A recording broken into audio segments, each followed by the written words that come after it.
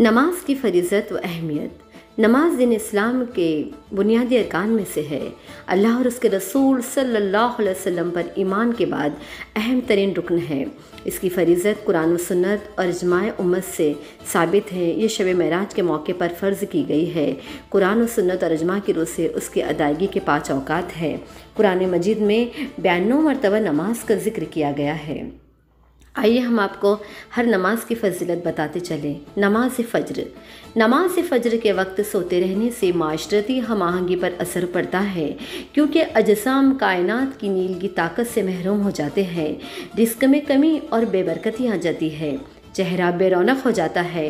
लिहाजा मुसलसिल फजर नम, फजर कज़ा पढ़ने वाला शख्स भी इन्हीं लोगों में शामिल है। इसलिए नमाज़ फ़ज्र की पाबंदी कीजिए। नमाज़ जहर। के बारे में बताते हैं। वो लोग जो मुसलसल नमाज़ जहर छोड़ते हैं, वो बदमिजाजी और बदहजमी से दो चार हो होते हैं। इस वक्त कायनात जर्द हो जाती है और मैदा और निज़ाम निज़ाम पर असरानंदाज होती है। रोज़ी तंग कर दी जाती है। इसलिए नमाज़ जहर की पाबंदी कीजिए। अब हम देखते हैं नमाज़ असर। अक्सर नमाज़ असर छोड़ने वालों की तख्लीकी सलाहियत कम हो जाती है और असर के वक्त सोने वालों का जहन कुंद हो जाता है और औलाद भी कुछ जहन कुन जहन पैदा होती है। कायनात अपना रंग बदल कर नारंगी हो जाती है और ये पूरे निज़ाम तौलीद पर असरानंदाज होती है। इसलिए नमाज़ असर की पाबंदी कीजिए। नमाज़ मगरिब। मगरिब के वक्त सूरज की शुआएँ सुर्ख हो जाती है। जना, जन्नात और इबलीस की ताकत उरूज पर होती है। सब काम छोड़कर पहले मगरिब की नमाज़ अदा करनी चाहिए।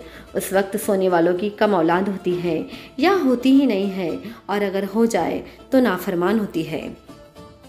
अब हम देखते हैं नमाज़ ईशा। नमाज़ ईशा छोड़ने वाले हमेशा परेशान रहते हैं। कायनात नीलगी होकर सियाह हो जाती है और हमारे दिमाग और निज़ाम ऐसा पर असर करती हैं। नींद में बेसुकूनी और बुरे ख्वाब आते हैं। जल्द बुढ़ापा आ जाता है और नींद से सुकून ख़त्म हो जाती है। इसलिए नमाज़ ईशा की पाबंदी कीजिए।